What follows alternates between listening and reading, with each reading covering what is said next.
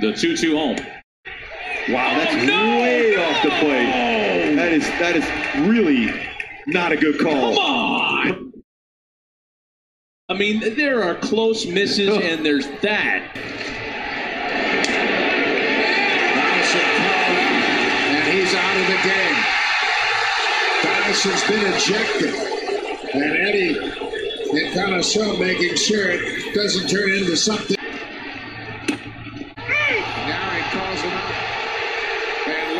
Threw him out, and then the helmet, and that's going to cost Brett Lawrie. And now they've got to get Lawrie and get him back in the dugout.